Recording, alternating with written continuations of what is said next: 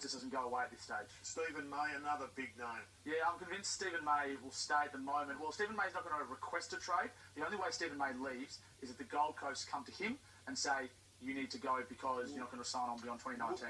If they put it on him to sign a contract, will he sign? Do you know? Uh, I doubt that at this stage, but I don't know for Would you be putting it on him, Rosie? Yes, I would. Be. Why would you sign if you're Steve May? Why would you sign beyond 2019? It doesn't make sense, does it, at this stage? Well, Polec and Gaff